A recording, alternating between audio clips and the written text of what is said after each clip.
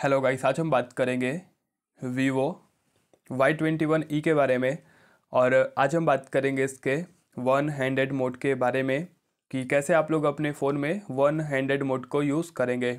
Okay so video start करते उससे पहले आप लोग हमारे यूट्यूब चैनल को सब्सक्राइब कर लीजिएगा। बेल का आइकन को प्रेस कर लेना है वन हैंडेड मोड यूज़ करने के लिए। First of all settings open करें। हम आप लोगों को सबसे आसान तरीका बताते हैं।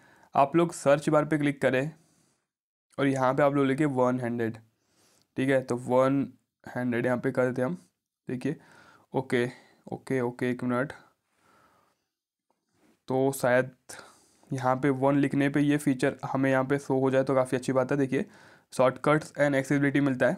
चलो आप लोग इतना घूम फिर के ना आए, उससे बेटर शॉर्टकट्स एंड एक्सेसिबिलिटी पे क्लिक करते हैं हम। यहाँ पे आ गया वन हंड्रेड इस पर क्लिक करते हैं।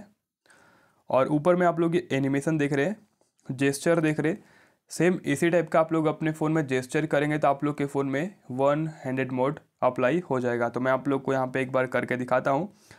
Access mini screen using gesture पे क्लिक कर दिया हमने।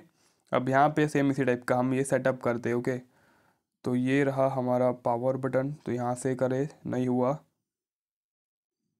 एक मिनट, हो जाए तो अच्छी बात है। देखिए, हो गया ये। ठीक है, इसका साइज़ वगैरह मेंटेन करना है तो हम यहाँ से साइज़ वगैरह शायद मेंटेन हम इस पर कर ले।